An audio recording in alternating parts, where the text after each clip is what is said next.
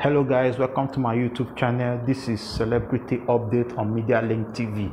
Veteran American rapper DMX has died at the age of 50 after suffering a heart attack in his home before he was rushed to a New York hospital in White Plain.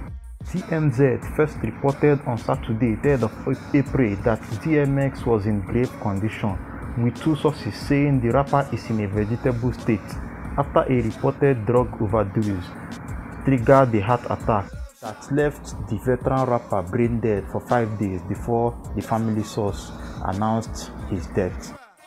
DMX will be remembered for his hit songs Sleeping, Who We Are, What the Bitches Want, Ruff Ryders Anthem, and many more. His death has thrown the entertainment industry into mourning. We pray that God grants his family the fortitude to bear the loss. Rest in peace, DMX.